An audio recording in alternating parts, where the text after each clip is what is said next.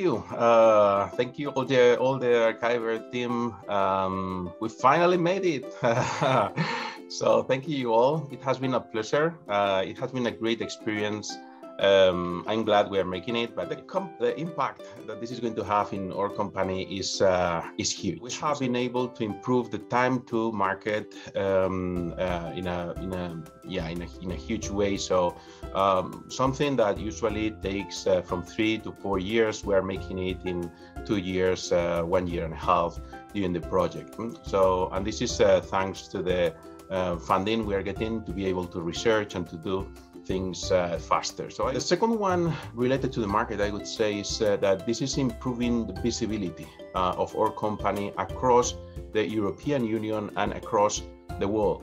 Thank, uh, thanks to this uh, project, we are getting known uh, in the in the industry, and because of that, we have um, several universities that we have signed contracts uh, with to uh, uh, start using this product. A large European pharmaceutical company, and this is um, I would say that this is largely largely because of the visibility we are getting in this project.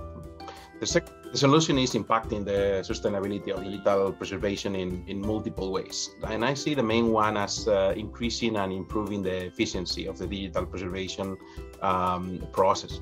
So first of all, uh, we are reducing the preservation costs in a direct and indirect uh, way. So in the direct way, uh, we are getting use of the most affordable technology. We are getting low uh, storage costs, but also in an indirect way, um, we are allowing researchers to do way more with um, way less resources, and because of the way the platform uh, is organized.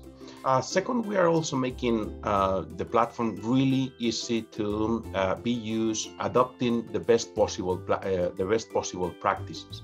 So the FAIR, the trust principles, the best ISO standards are deeply embedded in the platform. So we are decoupling the data and the content from the infrastructure.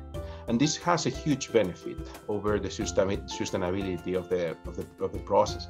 So, uh, for instance, uh, by doing so, we are increasing the uh, European uh, sovereignty. Um, we are also bringing cloud providers independence. This platform is working on top of any cloud uh, provider.